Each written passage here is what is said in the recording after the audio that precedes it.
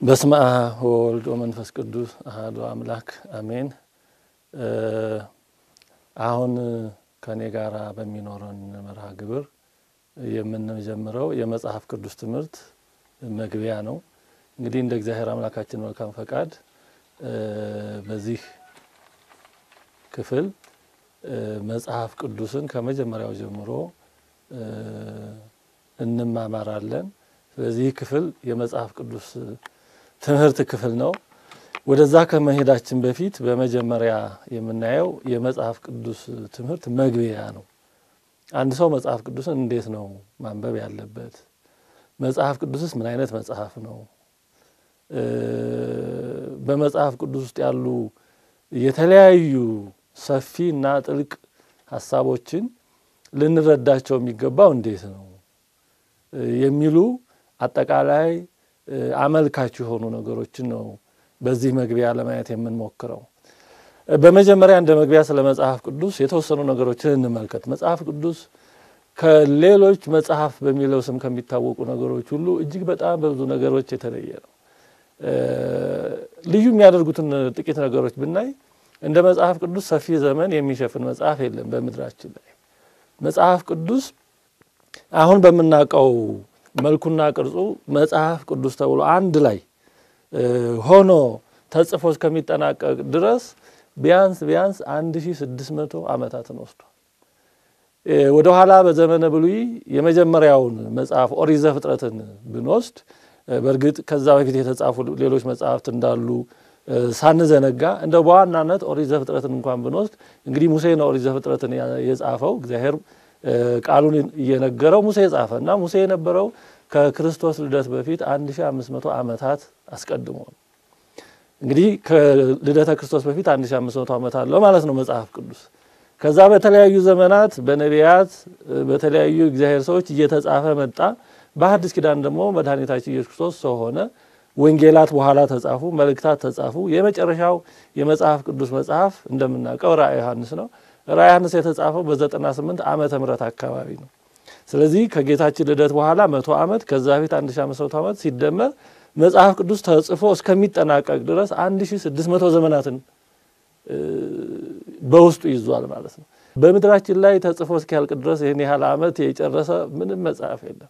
ስለዚህ መጽሐፍ ቅዱስ ለመጻፍ ረጅም ዘመናትን የወሰደ ቢያንስ ከ1600 ዓመታት በላይ የወሰደ መጽሐፍ ነው። እንደዚሁም እንደ መጽሐፍ ቅዱስ በብዙ ሰዎች የተጻፈ መጽሐፍ የለም።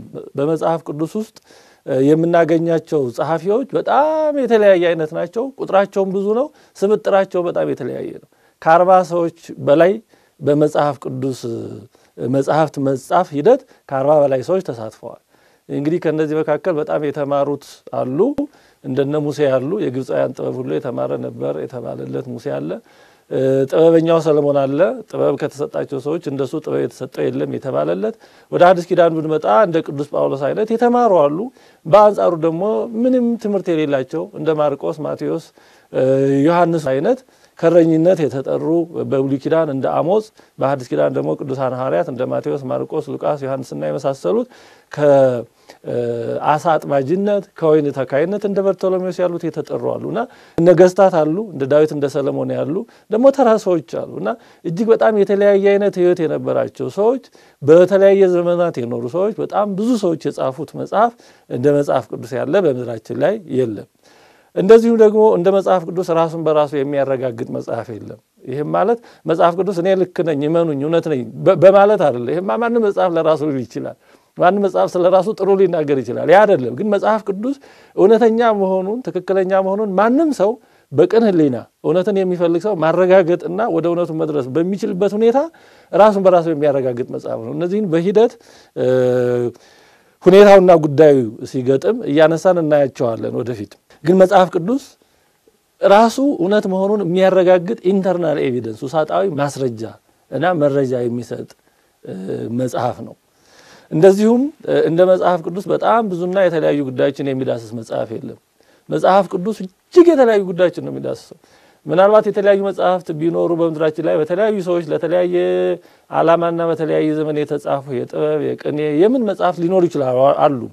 ግን የሚዳስሱት በጣም የተወሰኑ ጉዳዮች ነው። ከነዛም ደግሞ አንዱ ጉዳይ ላይ ያሉት ሌላ ጉዳይ ላይ እየተጣረሰባቸው ብዙ ይቸገራል። መጽሐፍ ቅዱስ ግን በ1600 ዘመናት በላይ ተጽፎ ከአርባ በላይ የሆኑ ሰዎች ተጽፎ በጣም የተለያዩ ጉዳዮችን እየዳሰሰ ግን ጉዳዮችን ሲዳስስ እርስ በርሳቸው በሚመጋገብ በሚሰናሰል አንዱ አንዱን በሚያጠናክር መልኩ እንጂ ፈጽሞ ተቃርኖ የሀሳብ ተፋልሶ በሌለበት መንገድ የሚዳስስ መጽሐፍ እንደ መጽሐፍ ቅዱስ በእውነቱ በምድራችን ላይ የለም። እንደዚሁም እንደ መጽሐፍ ቅዱስ በሰዎች ሕይወትና በዓለማችን ላይ ለሚታዩት ነገሮችና ለሚነሱ ጥያቄዎች ትክክለኛና አጥጋቢ መልስ የሚሰጥ መጽሐፍ የለም። መጽሐፍ ቅዱስ ሲጀምር ለሰዎች መሰረታዊ ጥያቄ መሰረታዊ መልስ በመስጠት ነው የሚጀምረው። እንግዲህ እንደ እግዚአብሔር ፈቃድ ወደ መጽሐፍቱ ስንሄድ የምናያቸው ይሆናሉ። መጽሐፍ ቅዱስ ሲጀምር በኦሪት ዘፍጥረት ምዕራፍ አንድ ቁጥር አንድ ላይ በመጀመሪያ እግዚአብሔር ሰማይና ምድርን ፈጠረ ብሎ የሰዎችን ጥያቄ በመመለስ ነው የሚጀምረው። ይህ የሚታየው ፍጥረት ከየት መጣ ከየት ተገኘ ለሚለው በጣም መሰረታዊ የሆነ ልብን የሚያሳርፍ መልስ የሚሰጠው እሱ ነው። ስለዚህ ብቻ ሳይሆን ስለ ሌሎችም ህይወት ምንድን ነው? ሞት ምንድን ነው? ሞት ከየት መጣ? አሁን ያለንበት ሁኔታ ከየት የመጣ ነው? አሁን በምድራችን ላይ የምናየው ውጣ ውረዱ፣ የሚያሳዝነው፣ የሚያስደስተው ይሄ ነገር ሁሉ እንዴት ሆነ? ለምን ሆነ? ለምንስ ይሆናል? ወደፊትስ ፍጻሜያችን ምንድን ነው? ተስፋችንስ ምንድን ነው? መኖር ትርጉሙ ምንድን ነው? ለምን ይመሻል ይነጋል ለሚሉት ይህንና ይህን ለመሳሰሉት የተለያዩ ዕለታዊም ዘለቄታዊም ፋይዳ ስላላቸው ህይወታዊ ነገሮች አጥጋቢ እውነትም የሆነ መልስ የሚሰጠው መጽሐፍ ቅዱስ ሌሎች መጽሐፍት ይህንን መስጠት አይችሉም። ይህ እውነት ነው። እንደዚሁም እንደ መጽሐፍ ቅዱስ በብዙ ሰዎች ከተለያየ አቅጣጫ የተጠናና የተተቸ መጽሐፍ የለም። ከተለያየ አቅጣጫ በሚያምኑትም በማያምኑትም በብዛት ደግሞ በማያምኑት በኤቲስቶች በአግኖስቲስቶች ይሄ እግዚአብሔር የለም የሚሉት ወይም እግዚአብሔር ይኑር አይኑር ምንም አውቀው ነገር የለም የሚሉት አግኖስቲስቶችም በሌላ እምነት ውስጥም ያሉ ደግሞ መጽሐፍ ቅዱስን ለመተቸት ለመንቀፍ ይረዳናል ብለው በብዙ መንገድ ያጠኑ የተቹ የቆፈሩ ሰዎች እጅግ በጣም ብዙ ናቸው። ግን የበለጠ በተጠና መጠን እውነተኛነቱ የበለጠ እየተገለጠ ቀድሞ አይታወቁ የነበሩ ምስጢሮች የበለጠ እየወጡ የበለጠ እየወጡ ሊያጠፉትና ስህተት ነው ብለው ሊነቅፉት በፈለጉት መጠን ሳይፈልጉት ገናናነቱንና ድንቅነቱን እየገለጡ ያሉት መጽሐፍ ቢኖር መጽሐፍ ቅዱስ ነው። እንዲሁም እንደ መጽሐፍ ቅዱስ ጠላቶቹን ያሸነፈና የማረከ መጽሐፍ የለም። ማሸነፉም በአግባብና በእውነት ነው።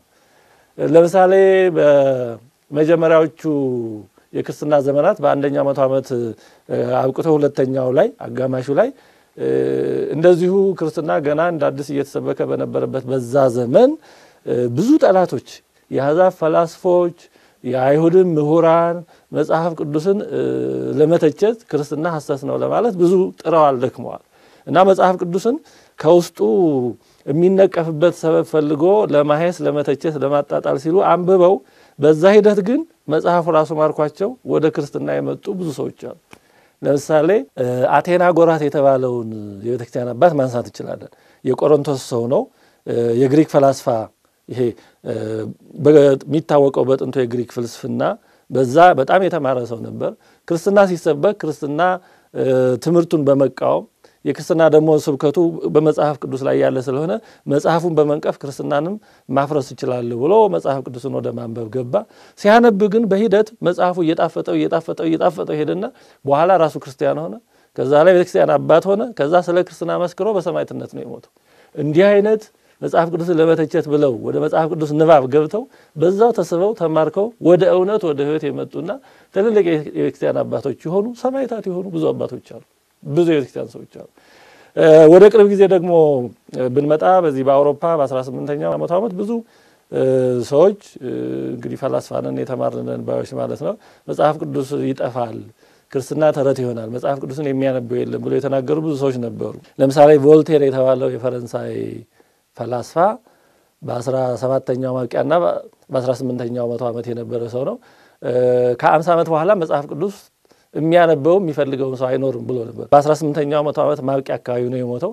ግን እንኳንስ መጽሐፍ ቅዱስ የሚያነበውና የሚፈልገው ሊጠፋ ይቅርና እንዲያውም እሱ እንደዚህ ያለበትና ይኖርበት የነበረውን ቤት ከ50 ዓመት በኋላ የመጽሐፍ ቅዱስ ማህበር ቤቱን ገዝቶ መጽሐፍ ቅዱስን ከ50 በላይ በሚሆኑ ቋንቋዎች እየተረጎመ ያሰራጭ እንደነበር ይናገራል።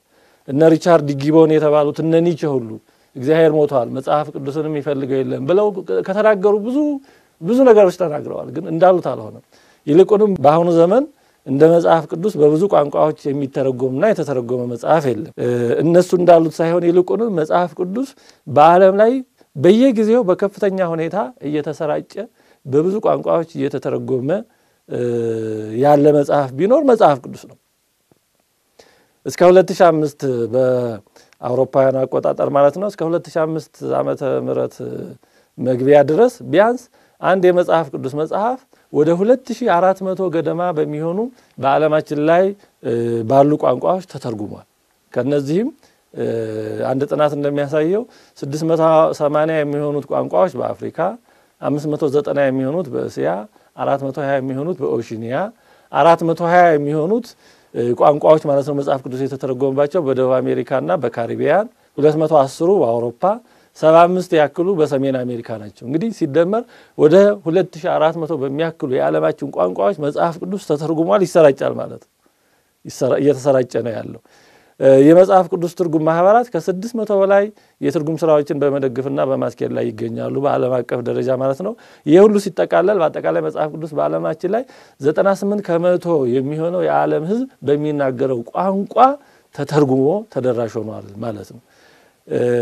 ዛሬ ደግሞ እንግዲህ ዘመናዊ ስልጣኔ ዘመናዊ ቴክኖሎጂ ባመጣቸው በተለያዩ ነገሮች በሞባይሉ፣ በላፕቶፑ፣ በአይፓዱ በመሳሰለው መጽሐፍ ቅዱስ በኪስ ላይም በቀላሉ በቦርሳም ላይ ተይዞ የሚካሄድ ሆኗል ማለት ነው። በእያንዳንዱ ደቂቃ በአማካይ ሀምሳ መጽሐፍ ቅዱስ ይሸጣል በምድራችን ላይ። እንግዲህ መጽሐፍ ቅዱስ ይህን ያክል ሰፊ ተደራሽነት ያለው በዓለም ላይ ከተሰራጩና እየተሰራጩ ካሉ መጽሐፍት ተደጋግሞ በመታተም በብዙ ቋንቋ በመሰራጨት በየጊዜው በፍጥነት በመሸጥ መሰል ተወዳዳሪ የሌለው ድንቅ መጽሐፍ ነው።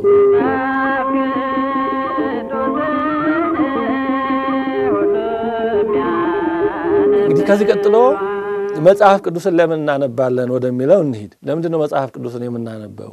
መጽሐፍ ቅዱስን የምናነብባቸው በጣም ብዙ የሆኑ ምክንያቶች አሉ። አንደኛው እግዚአብሔር ራሱንና ፈቃዱን ለሰው ልጆች የገለጠበት መጽሐፍ ነው። እግዚአብሔር እንዴት ነው የምናውቀው? እግዚአብሔር ባህሪ አይመረመርም እንደሚታወቀው።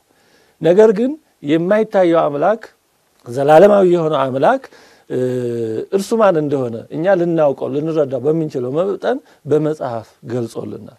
ፈቃዱንም አስታውቆናል። አሁን እግዚአብሔር ምን ይሆን የሚፈልገው እግዚአብሔር የሚወደው የሚጠላው ምን ይሆን ፈቃዱ ምን ይሆን እያል መጨነቅ አያስፈልገንም። ለምን ፈቃዱን በቅዱሳት መጽሐፍት ገልጦልናል። ስለዚህ መጽሐፍ ቅዱስ የምናነብበት አንደኛው ምክንያት ስለ አምላካችን ለማወቅ ማወቅ በሚገባን መጠን ልናውቀው በሚገባን ሁኔታ የተገለጸልን ለማወቅ ፈቃዱንም ለመረዳት ይረዳን ዘንድ ቅዱሳት መጽሐፍትን እናነባለን። ስለዚህ አንደኛው መጽሐፍ ቅዱስ የምናነብበት ምክንያት ስለ አምላካችን ለማወቅ ስለ እሱ ፈቃድ ለማወቅ ነው። ሁለተኛው ቅዱሳት መጽሐፍት የእግዚአብሔር እስትንፋስ ወይም ቃል ናቸው። እንግዲህ እስትንፋስ አምላካዊት ይሏቸዋል ቤተክርስቲያን አባቶች። አሁን አንድን ሰው የጻፈልን ደብዳቤ ካለ ያን ስናነብ በደብዳቤው ሀሳብ የሰውየውን ሀሳብ እናያለን። ያም ደብዳቤው ዝም ብሎ አልመጣም፣ የሰውየውን ሀሳብ ተሸክሞ የመጣ ነው ያ ደብዳቤ የዛ ሰውዬ እስትንፋስ ነው ወይም ትንፋሹ ነው፣ ሀሳቡ ነው። እነዚህም ሁሉ ቅዱሳት መጽሐፍት መጽሐፍ ቅዱስ የእግዚአብሔር እስትንፋስ ነው። እግዚአብሔር ሀሳቡን በቅዱሳት መጽሐፍት የተናገረው ስለሆነ መጽሐፍ ቅዱስን ማንበብ ማለት ከእግዚአብሔር ጋር መገናኘት ማለት ነው። የእግዚአብሔርን እስትንፋስ ማግኘት፣ ከእግዚአብሔር ጋር መገናኘት፣ እግዚአብሔር ምን እንደሚል መስማት። ልክ አሁን በስልክ ወይ በደብዳቤ አንድን መጽሐፍ ስናነብ ለምሳሌ ከመጽሐፉ ደራሲ ጋር እንገናኛለን። ያ ምክንያቱም መጽሐፉን የጻፈው ሰው ሀሳብ ነው እዛ ውስጥ ያለው እና መጽሐፍ ቅዱስን ስናነብ ከእግዚአብሔር ሀሳብ ጋር ስለምንገናኝ በመጽሐፍ ቅዱስ ያለው እግዚአብሔር እስትንፋስ ስለሆነ ስለዚህ ነው መጽሐፍ ቅዱስን የምናነበው። መጽሐፍ ቅዱስ ስንገልጠው እንዲህ አይነት ነገር ነው የምናገኘው። እግዚአብሔር ቃል እንዲህ ያለ የእግዚአብሔር ቃል ወደ እኔ እንዲህ ሲል መጣ የሚል ነገር ነው የምናገኘው። ለምሳሌ ዘፍጥረት 15 ቁጥር አንድ ላይ ከዚህም ነገር በኋላ የእግዚአብሔር ቃል በራእይ ወደ አብርሃም መጣ እንዲህም ሲል አብርሃም ወይ አትፍራ፣ እኔ ለአንተ ጋሻህ ነኝ፣ ዋጋህም እጅግ ታላቅ ነው አለው ይላል። ከዛ ሁለተኛ ሳሙኤል 24 11 ላይ ደግሞ ዳዊትም ማልዶ በተነሳ ጊዜ የእግዚአብሔር ቃል ወደ ዳዊት እንዲህ ሲል መጣ ይላል። ምዕራፍ አንድ ቁጥር አራት ላይ የእግዚአብሔር ቃል ወደ እኔ እንዲህ ሲል መጣ ይላል። ኤርምያስ 29 30 ላይ የእግዚአብሔር ቃል ወደ ኤርምያስ እንዲህ ሲል መጣ። በሙሉ እንደዚህ ነው የሚለው መጽሐፍ ቅዱስ። የእግዚአብሔር ቃል ወደ እኔ እንዲህ ሲል መጣ፣ እግዚአብሔር እንዲህ ይላል፣ እግዚአብሔር እንዲህ አለኝ የሚል የእግዚአብሔር እስትንፋስ ስለሆነ ነው።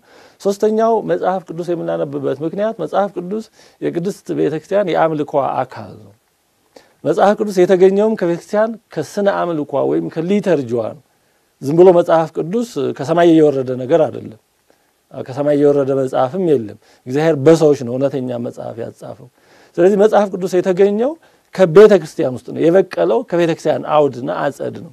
ስለዚህ ቤተ ክርስቲያን መጽሐፍ ቅዱስ እምነቷን የምትገልጥበትም ስርዓት አምልኳንም የምትፈጽምበት የምትተገብርበት ስለሆነ በተለያዩ የስርዓት አምልኮ ጊዜያት ሁሉ መጽሐፍ ቅዱስ ይነበባል።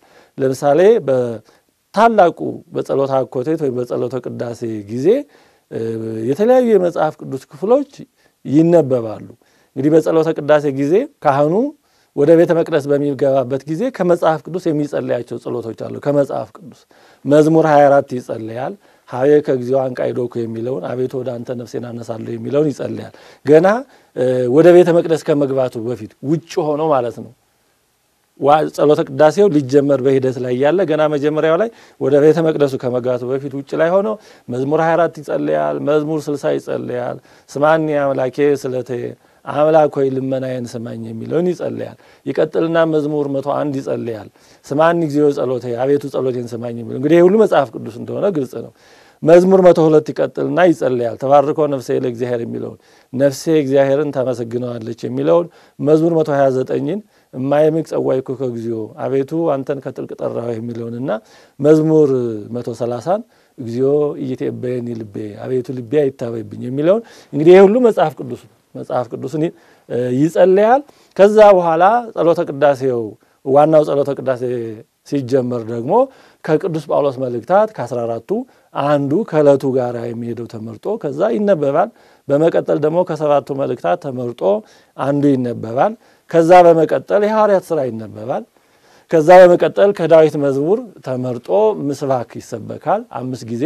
ከዛ በስድስተኛው ወንጌል ይነበባል። እንግዲህ አምስት ጊዜ መሆኑ በዘመነ ብሉይ አምስት ሺህ አምስት መቶ ዘመን አምላክ ይመጣል፣ ይወርዳል፣ ይወለዳል እየተባለ ደጅ መጠናቱና ከዛ ደግሞ ክርስቶስ መምጣቱ የሚያመለክት ነው። በስድስተኛ ወንጌል መነበቡ ወንጌል ደግሞ የተለየ ክብር ያለው ስለሆነ መብራቱም ጨምሮ በልዩ ዜማ በሚገርም ሁኔታ ወንጌሉ ይነበባል። ከዛ በኋላ ደግሞ ወንጌሉ ተነበው ሲያልቅ ነአምን በቃለ ወንጌል ከቅዱስ እያልን ቅዱስ ወንጌልን እንሳለማለን። እንግዲህ መጽሐፍ ቅዱስ የቤተክርስቲያን ሕይወቷ ነው ማለት ነው። የአምልኮዋ መገለጫው ነው። ከስርዓት አምልኮዋም እየተገኘ ነው። በዐቢይ ጾም ደግሞ በአጠቃላይ ሁልጊዜ በዐቢይ ጾም ጧት ጧት ዳዊት ይደርሳል።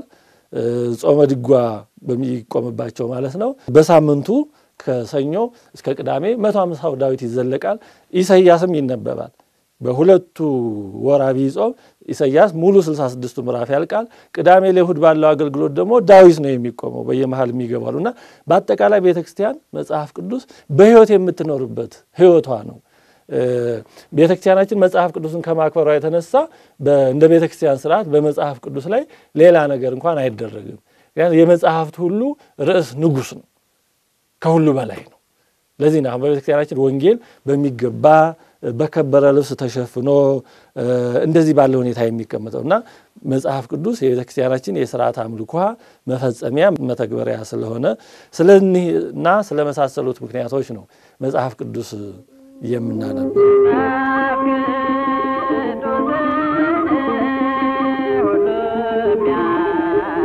እንግዲህ ይህን ያክል እንደ መግቢያ ስለ መጽሐፍ ቅዱስ አጠቃላይ ሁኔታና መጽሐፍ ቅዱስ ለምን እንደምናነብ ይህን ያህል አጠቃላይ ሁኔታዎች ካል አሁን ወደ ዝርዝር ጉዳዮቹ እንሄድ። በመጀመሪያ በቁጥር አንድ የምንመለከተው የመጽሐፍ ቅዱስ ቅዱስነት ነው። መጽሐፍ ቅዱስ ቅዱስ ነው የምንለው ለምንድን ነው? እኔ ቅዱስ ነኝ ስላለ ነው ወይስ ስለሚል ነው? ከምን የመጣ ነው የመጽሐፍ ቅዱስ ቅዱስነት? እንግዲህ መጽሐፍ ቅዱስ ማለት የተቀደሰ የተለየ የከበረ መጽሐፍ ማለት ነው። መጽሐፍ ቅዱስ የተለየ የከበረ ቅዱስ መጽሐፍ ነው። ግን ለምን ለምን መጽሐፍ ቅዱስ የተለየ የተከበረ መጽሐፍ ነው የምንልበት የሆነበትም ብዙ ምክንያቶች አሉ። አንደኛ የእግዚአብሔር እስትንፋስ ነው። ቅድም እንዳየ ነው መጽሐፍ ቅዱስ ማለት የእግዚአብሔርን ሐሳብ የያዘ መጽሐፍ እንግዲህ በጥንት ዘመን የንጉሥን ሐሳብ የያዘ መልእክት በእጅጉ ይከበር ነበረ። የዛን ንጉሥ መልእክት ይዞ ከቦታ ወደ ቦታ የሚዘዋወረው ሰው ያን መልእክት ይዞ የሚሄደው ሰው በደረሰበት ሁሉ ልክ እንደ ንጉሱ መልእክተኛ ተደርጎ ተቆጥሮ ልዩ ክብር፣ ልዩ አቀባበል፣ ልዩ አሸኛኘትም ይደረግለት ነበር። ለምን? ከሰውየው ግላዊ ማንነት ሳይሆን ከያዘው ከንጉሱ መልእክት የተነሳ ማለት ነው። መጽሐፍ ቅዱስ ደግሞ የእግዚአብሔርን ሐሳብ የእግዚአብሔርን መልእክት የያዘ ስለሆነ እውነተኛ የእግዚአብሔር መጽሐፍ ስለሆነ የተቀደሰ ነው፣ እውነት ነው። ስለዚህ ቅዱስ የሚያሰኘው የእግዚአብሔር እስትንፋስ መሆኑ ነው። ሁለተኛ በራሱ በእግዚአብሔር ትእዛዝ የተጻፈ መጽሐፍ ነው። መጽሐፍ ቅዱስ በሰዎች ሀሳብ ወይም በሰዎች ፈቃድ የተጻፈ መጽሐፍ አይደለም። ራሱ እግዚአብሔር ጻፉ እያለ እሱ የመረጣቸውን ሰዎች ያጻፈው መጽሐፍ ነው። ለምሳሌ ሙሴን በኦሪት ዘጸአት ምዕራፍ 17 ቁጥር አራት ላይ እግዚአብሔር እንዲህ ብሎታል። እግዚአብሔርም ሙሴን የአማሌቅን ዝክር ከሰማይ በታች ጨርሼ ደመስሳለሁና ይህን ለመታሰቢያ በመጽሐፍ ጻፍ ይህን ለመታሰቢያ በመጽሐፍ ጻፍ። ስለዚህ እንግዲህ ኦሪትን ያጻፈልን ራሱ እግዚአብሔር ነው። ሙሴን እያሳሰበ ይህን ጻፍ ይህን ጻፍ እያለ ስለዚህ ራሱ እግዚአብሔር ያጻፈው መጽሐፍ ስለሆነ ነው ቅዱስ መጽሐፍ የሚባለው። በትንቢተ ኤርምያስ ምዕራፍ 30 ቁጥር ሁለት ላይም የእስራኤል አምላክ እግዚአብሔር እንዲህ ይላል የነገርኩህን ቃል ሁሉ በመጽሐፍ ጻፍ፣ የነገርኩህን ሁሉ ቃል ሁሉ በመጽሐፍ ጻፍ ይላል። ኢሳይያስ ምዕራፍ 30 ቁጥር 8 ላይ ደግሞ አሁንም ሂድ ለሚመጣውም ዘመን ለዘላለም እንዲሆን በሰሌዳ ላይ በመጽሐፍም ውስጥ ጻፍላቸው። ስለዚህ እግዚአብሔር ራሱ ወዶ ፈቅዶ የሚጽፉትን ሰዎች እያስነሳ እየመረጠ እየጠበቀ ያጻፈው ቅዱስ መጽሐፍ ስለሆነ ነው። በመዝሙር 86 ቁጥር 6 ላይ እግዚአብሔር ይነግሮሙ ለሕዝቡ በመጽሐፍ እግዚአብሔር ለሕዝቡ በመጽሐፍ ይነግራቸዋል ይላል። ስለዚህ መጽሐፍ ቅዱስ እግዚአብሔር ለእኛ ለሕዝቡ የተናገረበት መናገሪያው ስለሆነ እግዚአብሔር ቅዱስ ሀሳቡን ለእኛ ያስተላለፈበት መንገድ ማስተላለፊያ ስለሆነ ቅዱስ የሚያሰኘው ይሄ ነው። ሶስተኛው መጽሐፍ ቅዱስን የተለየ መጽሐፍ ቅዱስ መጽሐፍ የሚያሰኘው እግዚአብሔር ያጻፈው እርሱ በመረጣቸው ቅዱሳን ሰዎች አማካኝነት የእርሱ ጥበቃ ሳይለያቸው ነው። መጽሐፍ ቅዱስን የጻፉትን ሰዎች እግዚአብሔር መርጦ ጥበቃው ሳይለያቸው ነው። አይምሯቸውን አሳጥቶ ሳይሆን ወይም ማንነታቸውን አዘንግቶ ሳይሆን እኔነታቸው ሳለ አይምሯቸው ሳለ ግን ከስህተትና የራሳቸውን ሀሳብ የራሳቸውን ስሜት ከመጻፍ ግን ጠብቆ የእሱን ሀሳብ እሱ ለእኛ ሊያስተላልፍ የፈለገውን መልእክት ብቻ እንዲጽፉ ጠብቆ በልዩ ጥበቃ ነው ያጻፈልን። በሁለተኛ ጴጥሮስ ምዕራፍ አንድ ቁጥር 20 ላይ ይህን በተመለከተ ቅዱስ ጴጥሮስ እንዲህ ይላል፣ ይህን በመጀመሪያ ያወቁ በመጽሐፍ ያለውን ትንቢት ሁሉ ማንም ለገዛ ራሱ ሊተረጉም አልተፈቀደም። ትንቢት ከቶ በሰው ፈቃድ አልመጣምና ዳሩ ግን በእግዚአብሔር ተልከው ቅዱሳን ሰዎች በመንፈስ ቅዱስ ተነድተው ተናገሩ። ስለዚህ ቅዱሳን ሰዎች በመንፈስ ቅዱስ ተነድተው የተናገሩት ቃል ስለሆነ ቅዱስ መጽሐፍ መጽሐፍ ቅዱስ ይባላል። እንዲሁም አራተኛ በመልካም ልቦና ሆነው የሚያነቡትን ወደ ቅድስና ስለሚመራ ቅዱስ ጳውሎስ በሁለተኛ ጢሞቴዎስ ምዕራፍ 3 ቁጥር 15 17 ላይ እንዲህ ይላል ከሕፃንነትም ጀምረህ ክርስቶስ ኢየሱስን በማመን መዳን የሚገኝበትን ጥበብ ሊሰጡህ የሚችሉትን ቅዱሳት መጽሐፍትን አውቀሃል ይልና የእግዚአብሔር ሰው ፍጹምና ለበጎ ስራ ሁሉ የተዘጋጀ ይሆን ዘንድ የእግዚአብሔር መንፈስ ያለበት መጽሐፍ ሁሉ ለትምህርትና ለተግሳጽ ልብንም ለማቅናት በጽድቅም ላለው ምክር ደግሞ ይጠቅማል። ስለዚህ ለምክርና ለተግሳጽ ልብን ለማቅናት በጽድቅም ላለው ደግሞ ለምክር ወደ መልካም ስራ እግዚአብሔርን ወደ መምሰል የሚመራ ወደዛ የሚወስድ የሚያደርስ የተቀደሰ የእግዚአብሔር ቃል ያለበት መጽሐፍ ስለሆነ መጽሐፍ ቅዱስ በእነዚህና በመሳሰሉት ምክንያቶች ቅዱስ መጽሐፍ ይባላል። እንደዚሁም መጽሐፍ ቅዱስ እውነት ነው። ቅዱስ የሚሰኝበት ምክንያት መጽሐፍ ቅዱስ እውነት ነው። በውስጡ ያለው በሙሉ እውነት ነው።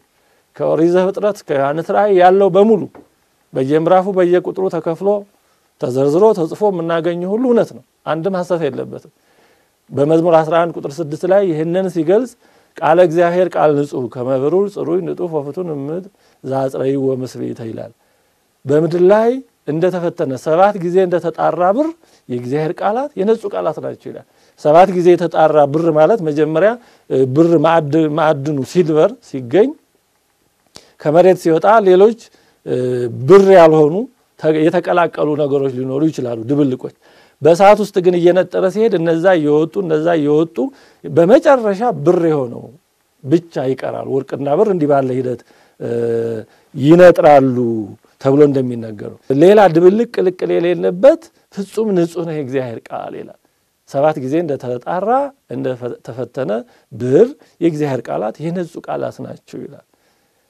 ሌሎች መጽሐፍት ምናልባት ሰማንያ በመቶ እውነት ቢሆኑ ከሰው የተገኙ ስለሆኑ አዎ ከማወቅም ይሁን ካለማወቅ ወይም በተለያዩ ምክንያቶች የተወሰነ ስህተት ላይጠፋቸው ይችላል። እንዲያውም ከመጽሐፍ መጽሐፍ ይለያያል። መቶ በመቶ እውነት የሆነ ስህተት የሌለበት መጽሐፍ ከመጽሐፍ ቅዱስ ውጭ ሌላ መጽሐፍ ማግኘት በእውነቱ አይቻልም። ለዚህ ነው መድኃኒታችንም በዮሐንስ ወንጌል ምዕራፍ 17 ቁጥር 17 ላይ ቃልህ እውነት ነው ያለው። እንግዲህ መጽሐፍ ቅዱስ እውነትነቱ በብዙ መንገድ የተገለጠ የተረጋገጠ ነው። ቅድም እንዳልነው መጽሐፍ ቅዱስ እውነት ነው የምንለው እኔ ራሴ እውነት ነኝና እመኑብኝ ስለሚል አይደለ። ይሄማ ማንም መጽሐፍ ሊል ይችላል። ማንም ሐሰት የሚናገር ሰውም ሆነ በውስጡ ውሸት ያለ መጽሐፍም ልክ ነኝ፣ ቅዱስ ነኝ፣ እውነት ነኝ እመኑብኝ ሊል ይችላል። ስላለ አይደለም የምናምነው። መጽሐፍ ቅዱስ ይሄን የሚለውን ማረጋገጫ አለው። ምን አይነት ማረጋገጫዎች? ከነዚህ የተወሰኑትን ልናይ እንችላለን። ለምሳሌ መጽሐፍ ቅዱስን በተመለከተ በዚህ በ18ና በ19ኛው መቶ ዓመት በመጽሐፍ ቅዱስ ላይ የተለያዩ ትችቶች ይራመዱ ነበረ። ከነዚህ አንዱ ትችት ምንድን ነው? አሁን ያሉት ጥንታዊ የመጽሐፍ ቅዱስ ቅጂዎች manuscript የሚባሉት ወደ ኋላ ስንሄድ በአራተኛውና በአምስተኛው መቶ ዓመት የተጻፉ ጥንታዊ ቅጂዎች ወይም manuscript ኦች ናቸው ያሉት። እንግዲህ ይሄ እውነት ነው፣ እስከዛን ጊዜ እውቀት ማለት ነው።